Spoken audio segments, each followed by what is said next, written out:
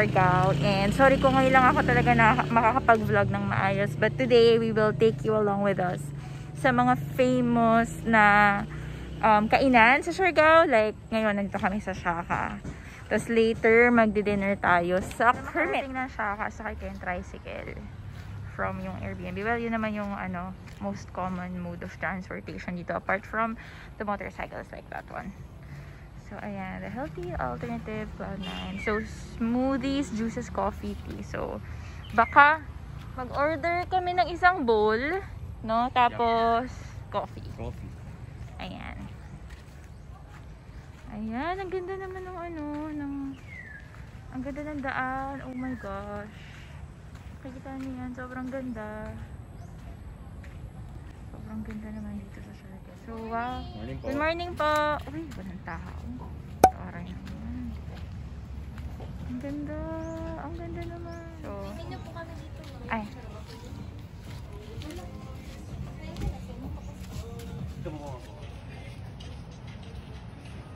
Oh, so ayan siya. Ayan yung view.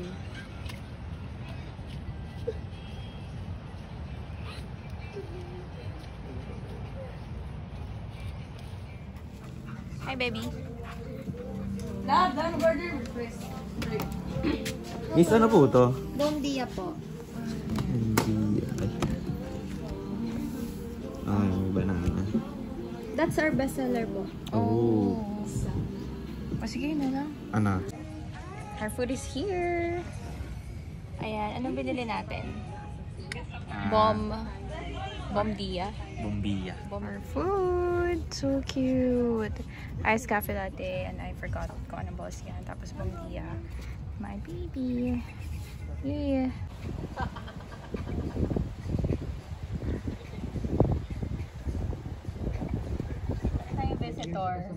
Hi ka sa vlog. Sabi ko manan, Hi vlog. Magsalita ka ng may sense. Hi viewers! I love the live right now. Digital nomad registration.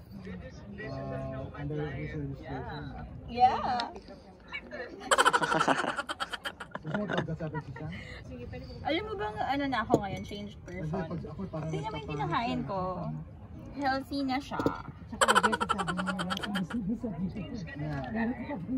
Change person ako ngayon eh. Change. Hindi mo lang change. Ano na na na? Sure daw changed me. Naka-vlog ka? Naka-vlog diba? Naka-vlog diba? Marites ka talaga. Stop mo na. Sarap na. Hi guys. So, paalis na kami ng Shaka. Babe.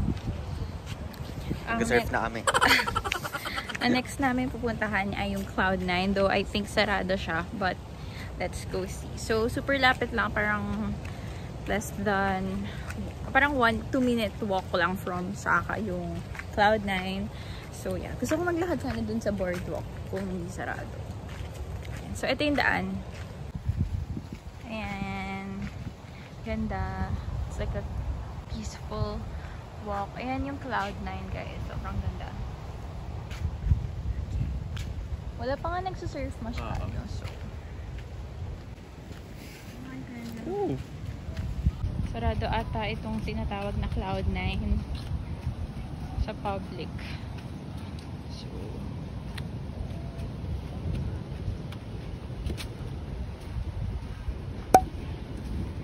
picture na lang. Though low tide din, Dogo.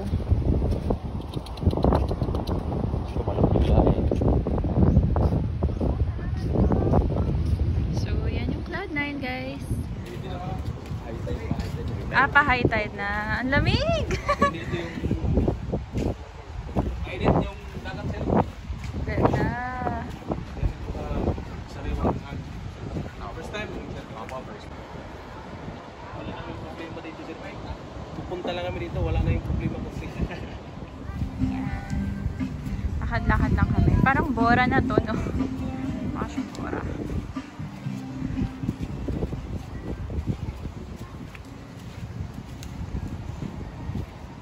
This is yung Cloud9 area. Naghanap kami ng ganap. Hmm. Uy, ang cute na yung mga ba restaurant kaya?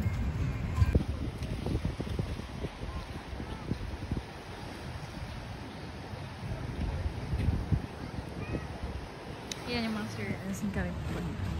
Baka maglakad-lakad kami sa main road. Sa tourism road.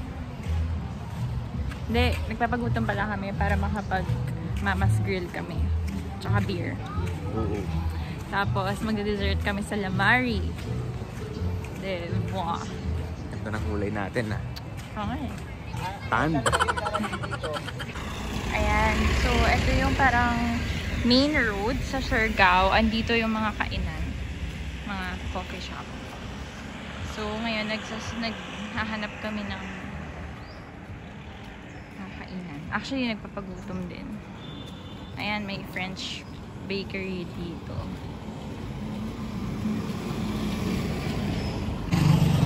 Actually, we're planning to rent a bike. Diba? Gawin nating agire to. Wow. Charing. May ahon to. Uy, oo nga. Ayoko.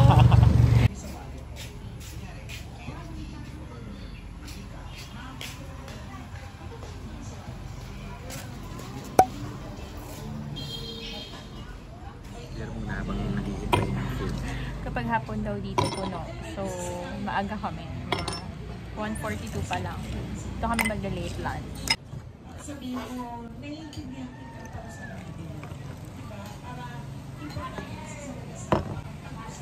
Sarap. So, ito yung order namin. Liam po na medium. Wala lang siyang ano. Yung marinade. Okay, and Shrimp.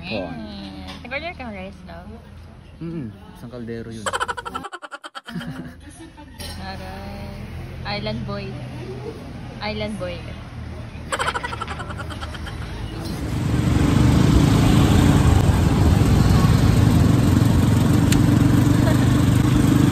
Amari. Ito alcohol lang. Ay, hindi. Kunti lang din. Pwede na. True. Dami nag-work dito. So, if stay kayo sa Siargao, pwede kayo dito. Mm. Hi guys! So, andito na kami sa Lamari. Hi. Lamari. So, um, super dami ditong nag-work. Nag, na may dalang laptop, especially sa second floor. Kasi malakas yung internet nila. So, but, um, take note lang, if pupunta kayo dito, may 300 pesos consumable per head. So, ayun. Order kami ng coffee, calamari, and dessert. So, yun lang. Hi guys. We're in where where are we? Kermit. We're in Kermit. Yung ilaw dito is Ganda ng ilaw ah. we're in Kermit, Kermit Siargao, and we ordered Kermit pizza and gnocchi. Um, inabutan namin yung happy hour. So buy one take one yung Cocktails. cocktails. So, Sad dalawang lang. halad in order namin. Para sulit. Sad lang walang amaretto sour. I'm always looking for amaretto sour.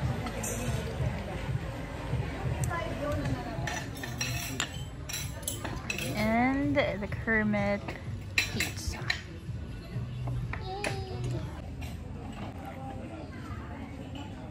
Dito tayo dito. Sarap. Sure. Ito pa kami to. Oh, nakakatawa. Order the Kermit pizza. Yun daw yung best seller nila. So, four cheese siya with ham. Ham ba to? Salami. Salamat. Ham ang ham na kasi maganda. Let's begin. What are we eating now? We're eating gnocchi. Gnocchi. Gnocchi. Gnocchi. Kapredidor. Loki yun. Ah, mali ako. Loki, yun ba yung ano, yung magjawa kayo tapos di nyo masyadong pinapa... Low-key. Ah, what I think this is my favorite place in Siargao. Because? because it's so chill. The ambience is so good. And the food is top notch. And service is amazing. Super friendly. Super friendly ng mga staff. Yung happy hour hanggang 8.30pm. Pag Friday, all night yung happy hour. Something to take note. Plus, ang ganda ng lighting. Perfect. Your second cocktail for the night. Mm. So good. Lasang ano? Kulang sa alam. Lasang... lasang malalasing ako. Hi! Nako po. Doon ako. Talo. so, tapos na kami sa Kermit. So, uwi na kami. Uwi na kami!